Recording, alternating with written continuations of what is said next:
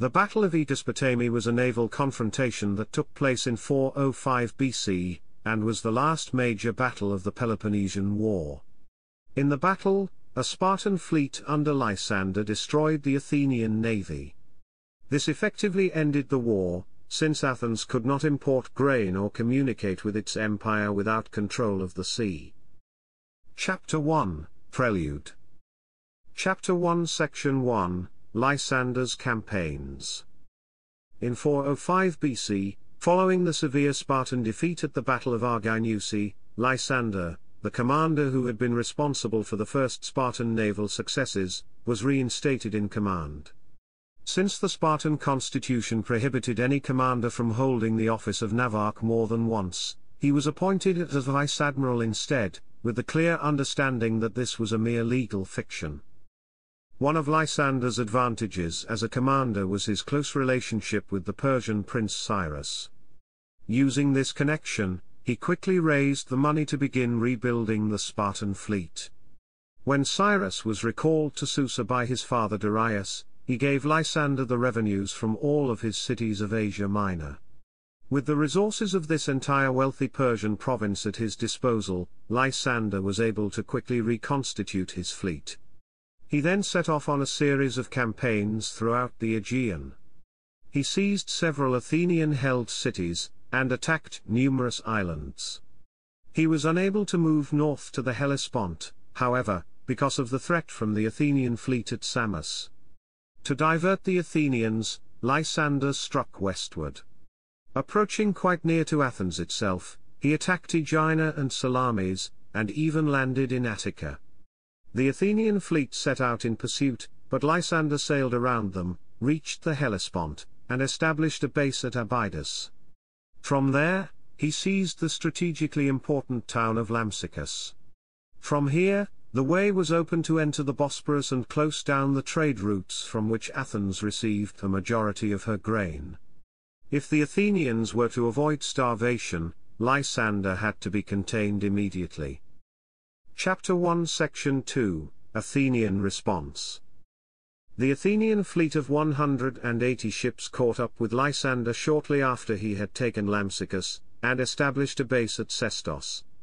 However, Perhaps because of the need to keep a close watch on Lysander, they set up camp on a beach much nearer to Lampsacus. The location was less than ideal because of the lack of a harbour and the difficulty of supplying the fleet, but proximity seems to have been the primary concern in the minds of the Athenian generals. Every day, the fleet sailed out to Lampsacus in battle formation, and waited outside the harbour, when Lysander refused to emerge, they returned home. Chapter 1 Section 3 Alcibiades' involvement. At this time, the exiled Athenian leader Alcibiades was living in his ship's castle near the Athenian camp. Coming down to the beach where the ships were gathered, he made several suggestions to the generals. First, he proposed relocating the fleet to the more secure base at Sestos. Second, he claimed that several Thracian kings had offered to provide him with an army. If the generals would offer him a share of the command, he claimed, he would use this army to assist the Athenians. The generals, however, declined this offer and rejected his advice. Spurned, Alcibiades returned to his home. Chapter 2 The Battle Two accounts of the Battle of Aegospotami exist. Diodorus Siculus relates that the Athenian general in command on the fifth day at Sestos, Philocles, sailed out with thirty ships, ordering the rest to follow him. Donald Kagan has argued that the Athenian strategy, if this account is accurate, must have been to draw the Peloponnesians into an attack on the small force, so that the larger force following could surprise them. In the event, the small force was immediately defeated, and the remainder of the fleet was caught unprepared on the beach. Xenophon, in contrast, relates that the entire Athenian fleet came out as usual on the day of the battle, and Lysander remained in the harbour. When the Athenians returned to their camp, the sailors scattered to forage for food, Lysander's fleet then sailed across from Abydos and captured most of the ships on the beach, with no sea fighting at all. Whichever account of the battle itself is accurate, the result is clear. The Athenian fleet was obliterated, only nine ships escaped, led by the general Conon. Lysander captured nearly all of the remainder, along with some three or four thousand Athenian sailors. One of the escaped ships, the messenger ship Paralus, was dispatched to inform Athens of the disaster. The rest, with Conon, sought refuge with Evagoras, a friendly ruler in Cyprus.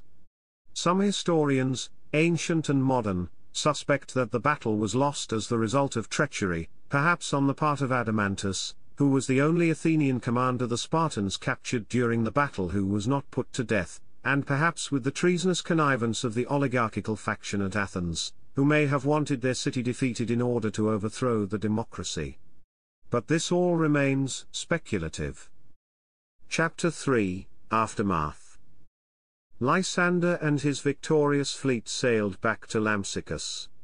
Citing a previous Athenian atrocity when the captured sailors of two ships were thrown overboard, Lysander and his allies slaughtered Philocles and 3,000 Athenian prisoners, sparing other Greek captives. Lysander's fleet then began moving slowly towards Athens, capturing cities along the way. The Athenians, with no fleet, were powerless to oppose him. Only at Samos did Lysander meet resistance, the democratic government there, fiercely loyal to Athens, refused to give in, and Lysander left a besieging force behind him.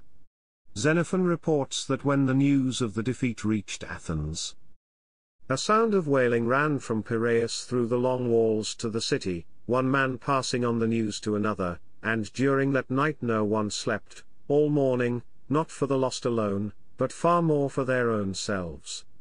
Fearing the retribution that the victorious Spartans might take on them, the Athenians resolved to hold out from the siege, but their cause was hopeless. Without a fleet to import grain from the Black Sea, and with the Spartan occupation of Decelia cutting off land transportation, the Athenians were beginning to starve, and with people dying of hunger in the streets, the city surrendered in March 404 BC. The walls of the city were demolished, and a pro-Spartan oligarchic government was established.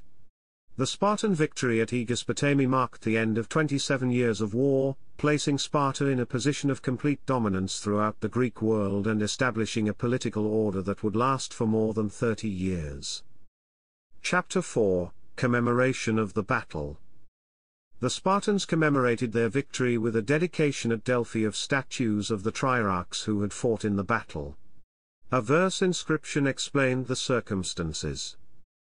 These men, sailing with Lysander in the swift ships, humbled the might of the city of Cecrops. And made Lacedaemon of the beautiful Choruses the high city of Hellas.